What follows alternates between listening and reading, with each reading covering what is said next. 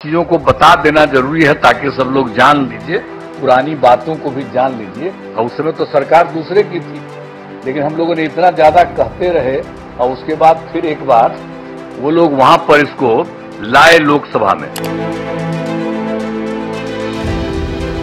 प्रधानमंत्री मोदी ने बुधवार को नालंदा यूनिवर्सिटी के नए परिसर का शुभारंभ किया। इस दौरान सीएम नीतीश कुमार ने मंच से नालंदा यूनिवर्सिटी के इतिहास पर बात की। पिछली सरकारों के योगदान के बारे में बताते हुए नीतीश कुमार ने क्या कहा, सुनिए। मार्च 2006 में तब तत्कालीन राष्ट्रपति श्री एपीजे अब्दुल कलाम बिहार आए थे और उन्होंने बिहार विधान मंडल में अपने संबोधन में नालंदा विश्वविद्यालय को फिर से स्थापित करने का, करने की बात वहाँ पर कही थी।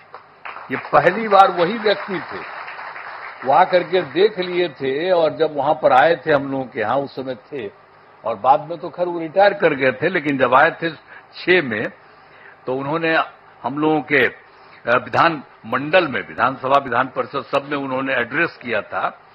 और उसमें ही उन्होंने ये बात कही थी कि नालंदा विश्वविद्यालय को फिर से स्थापित किया जाना चाहिए। तब से हम लोगों ने नालंदा अंतर्राष्ट्रीय यूनिवर्सिटी स्थापित करने की पहल शुरू की। इस नए नालंदा विश्वविद्यालय को अंतर्राष्ट्रीय स्तर का बनाना था, इसके लिए हमने केंद्र सरकार से अनुरोध किया। उस समय के केंद्र सरकार था, उसको भी हम लोगों ने अनुरोध किया, इन्होंने कह दिया था। तो वो तो कुछ जल्दी सुन नहीं रहे थे। उनमें देरी की जा रही थी तो राज्य सरकार ने, हम लोगों ने नालंदा विश्वविद्यालय को फिर से स्थापित करने के लिए नया कानून वगैरह बना दिया। और साथ ही नालंदा विश्वविद्यालय के लिए स्थान का चयन करके 455 एकड़ भूमि का अधिग्रहण कर लिया गया था। इसके बाद वर्ष 2008 में, अब जो राष्ट्रपति पहले कहे थे, वो तो रिटायर कर गए थे तो पूर्व राष्ट्रपति डॉक्टर एपीजे अब्दुल कलाम प्रथम विजिटर के रूप में नए नालंदा विश्वविद्यालय के लिए चयनित स्थल पर आए थे। जब यहाँ काम शुरू किया जा रहा था तो वो भी फिर देखने आए थे 2008 में। तो इन सब चीज़ों को बता देना ज़रूरी है ताकि सब लोग जान लीजिए, पुरानी बातों को भी जान लीजिए, कैसे बना, किस तरह से बना, ये सब भी। और फिर 2010 में, वर्ष में, हमारे अनुरोध पर नालंदा अंतर्राष्ट्रीय विश्वविद्यालय की स्थापना हेतु लोकसभा में बिल पारित किया गया। जब बहुत बार बार हम कह रहे थे तो अंत में वहाँ पर था।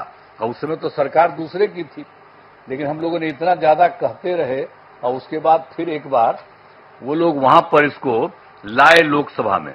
फिर राज्य सरकार पारित किया था कि इसको हम कराएँगे।